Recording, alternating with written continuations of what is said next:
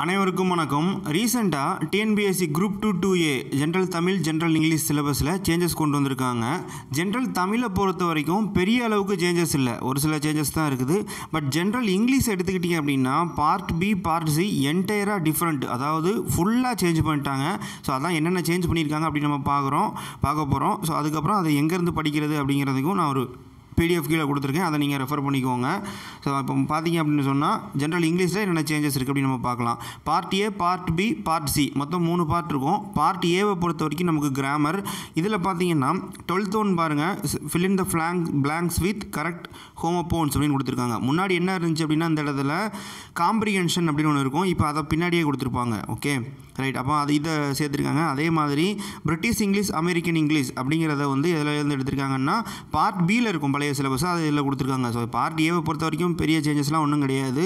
So எல்லாமே இருந்தது தான். ஓகே இப்போ பார்ட் பி இதை பொறுத்த வரைக்கும் ஃபுல் அண்ட் ஃபுல் நியூ தான். எல்லாமே புதுசு தான். So figures of speech so figures of speech வந்து நமக்கு முன்னாடியே இருந்தது தான். ஃபிகர்ஸ் ஆஃப் ஸ்பீச் கொடுத்துருப்பாங்க. Poetry appreciation important lines so இது எல்லாமே கேட்பாங்க இதில். போயம்ஸ் வந்து டிஃப்ரெண்ட்டாக கொடுத்துருக்காங்க. முன்னாடி வந்து பார்த்தீங்கன்னா ஓல்டு புக்கில் இருந்து அப்படியே இருக்கும். பட் இப்போ வந்து எல்லாமே நியூ புக் தான். ஓகே ஸோ ஃபஸ்ட்டு பாருங்கள் லைஃப் அப்படிங்கிற போயம் கொடுத்துருக்காங்க. ஹென்ரி வான் டைக் எழுதுனது I am every woman the secret of the machine the ant and the cricket no men are foreign so இது கூட நம்ம ஓல்டு சிலபஸ் நீங்கள் பார்த்துருப்பீங்க.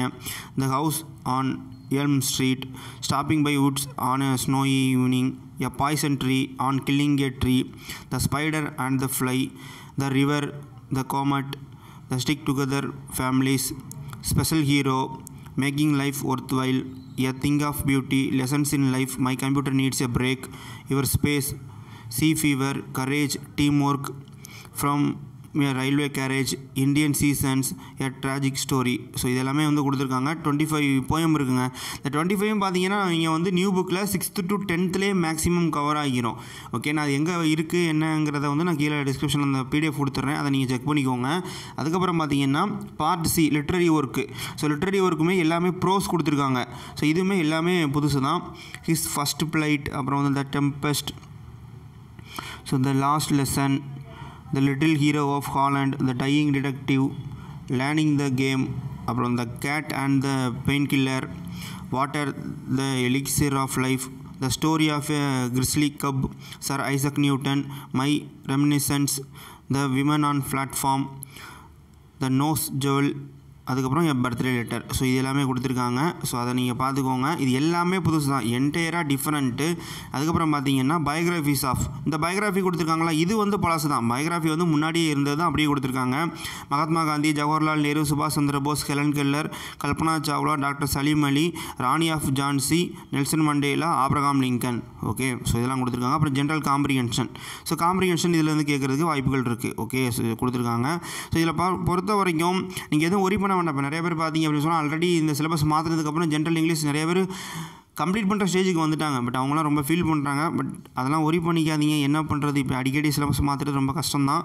பட் இப்போ இருக்க சுச்சுவேஷன் படி இதுக்கு நம்ம அடாப்ட் ஆகி தான் ஆகணும். ஸோ இது படிச்சிடலாங்க ஒன்றும் பிரச்சனை இல்லை. டுவெண்ட்டி ஃபைவ் போயம் கொடுத்துருக்காங்க. அப்புறம் வந்து ஃபோர்டீன் ப்ரோஸ் இருக்குது.